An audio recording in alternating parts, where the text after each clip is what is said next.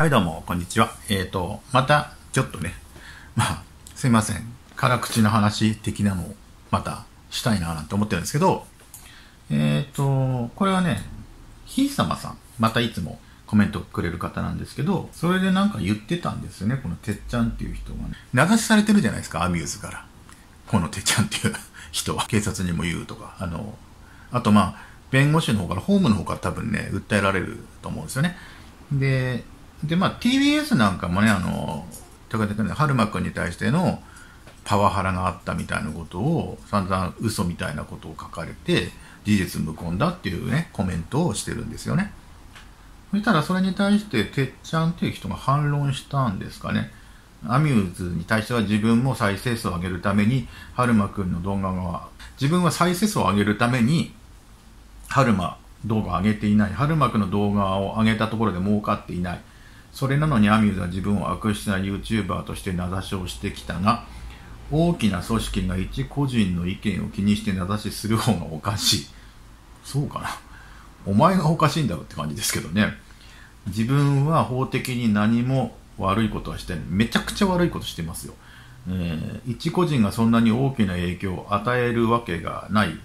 うん、まずその考え方が間違ってますよね。と言ってました。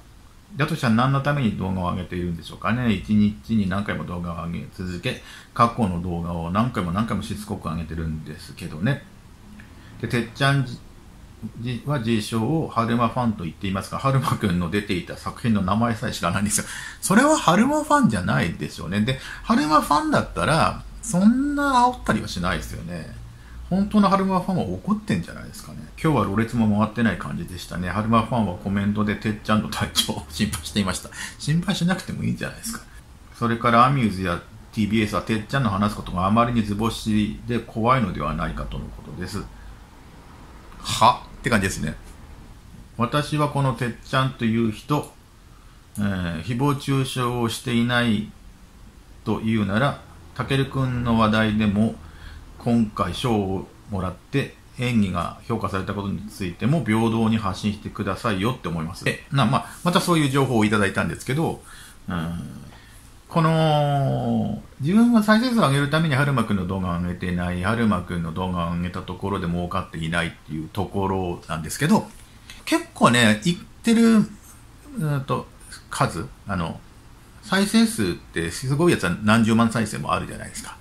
ただ儲かってないってことはないですよね。再生数を上げるために春巻の動画を上げていないというのは嘘。再生数を上げたくない YouTuber はいないわけで、ただ一つ、なんかちょっとんと思うのは、うんまあ、この人は承認欲求も強いんじゃないかなと思うんですよ。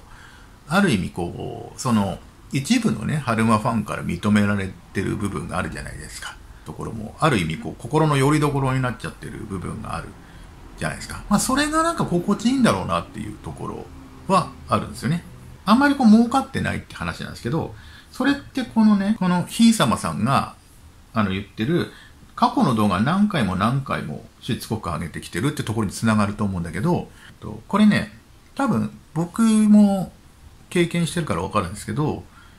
基本的には YouTube って、えっ、ー、と、三浦春馬くんの動画を上げると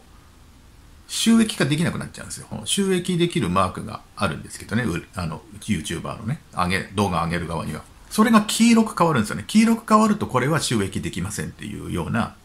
こと。要は CM がつきませんっていうことですね。広告がつきませんっていう目印になるんですよ。僕がこう経験上、ミルハラマ君のネタは全てそれがかかるんですよ。どんないいこと書いてもね。まあ、誹謗中傷は当然ですけど、誹謗中傷とか、まあ、ありもないネタをやるのは当然もうすぐそそ即でそうなっちゃうんですけど、いいことを書いてもなるんですよ。うん、まあ、それもおかしな話なんですけどね。このてっちゃんって人は、春馬くんの昔の上げて、ドンと行くじゃないですか。でも、すぐ収益化できない黄色のマーカーが出るんだと思うんですよ。だから、その都度その都度、上げ直してるんだと思うんですよね。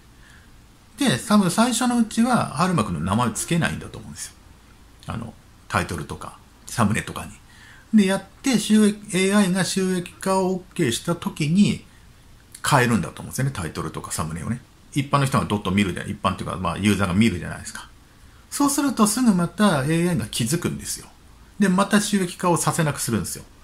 だから収益されなくなったってなったからまたもう一回上げ直してるんだと思うんですよね。それの繰り返しなんですよ。だから確かに思ってる以上に儲かってはないと思います。思ってる以上に儲かってないんだろうけど、それを何回も繰り返しやるってことは、この人自体が儲けたいからやってるんですよ。儲けたいけど儲かってないっていう悪循環をしてるんですよね。だから、この人はやり続けてる。で、僕は経験上思います、それは。でね、普通はね、僕はもう黄赤、その黄色信号がついた場合、その動画もうね、なんていうのか、諦めるんですよ。もう、もうやめようと。これは、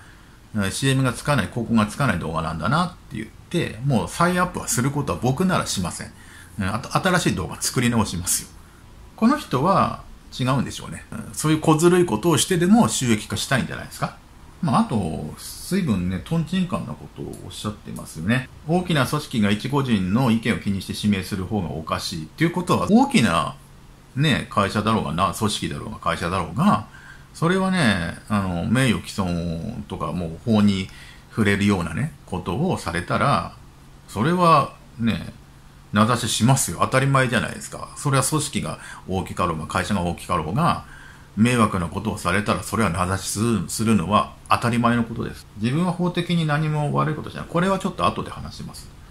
一個人がそんなに大きな影響を与えられるわけがない。一個人がそんなに大きい影響を与えられるわけはないけど、だ、でも YouTube ってものに発信発信したら、それがね、広まりやすいんですよ、世の中って。だから YouTube をやって発信してるってことは、それなりに影響あるってことを理解した方がいいですよ。まあそんな話だったんですけど、そ,、まあ、そういうね、またこういう意見をいただいて話なんですけど、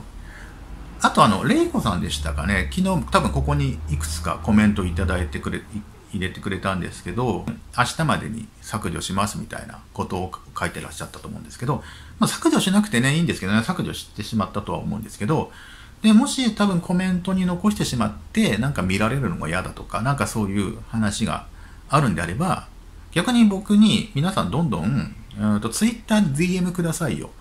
逆に垂れ込み情報でも全然いいので、もう不満に思ってることでも何でもいいので、それをいただけたら僕がそれを動画に、ちゃんと動画で、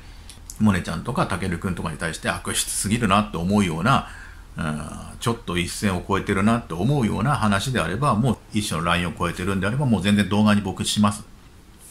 僕は全然ね、発信できる側なので、うん、いくらでもそれはあの発信していくんで、遠慮なくね、DM でもう、あの、垂れ込み大歓迎なので、くださいよ。まあ、あとさっきのね、法に触れてないっていう、てっちゃんが言ってたって話なんですけど、これちょうどね、いいタイミングでね、えー、週刊女性プライムが今日ね、出してるんですよね。三浦浜関連の、三浦浜さん関連の増え続ける誹謗中傷で、まあ、法的にアウトの境界線はっていう記事がちょうど出てるんですよね。まあ、罪に問われる書き込みや動画の境界線はっていうので、ありもしない事実を書き込んだ場合、名誉毀損となる可能性があります。ただし、真実だと信じたことがやむを得ない場合は除きます。また、真実を、真実を含まない場合は、侮辱罪が成立する可能性があります。いずれも申告罪なので、被害者による告訴が必要です。犯人扱いする投稿を罪に問うことができますか、えー、財産的精神的苦痛について民事上の責任を問えるこのことは可能性はありますが、犯人の特定や、え、損害の立証などが困難なこともあります。認められれば、えー、と損害賠償や謝罪文の提出を請求できます。うん、まあ、ここら辺はね、すぐ多分特定はできるんじゃないですかね。三浦さんの死去の速報が午後午前中に流れたというデマ情報をもとに、事務所は隠蔽しているなどのバッシングをする場合、罪に問われますかっていう、問えますかっていうことですね。これに関しては、こちらについては、会社が情報を隠蔽しているという会社の社会的評価を下落させる事実を適示していることは明らかであるので、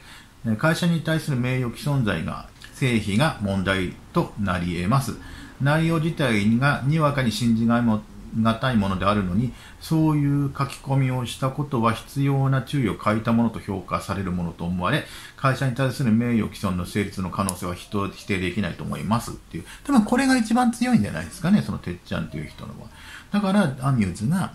法的手段に訴えると、ことを言ってるってことですね。で、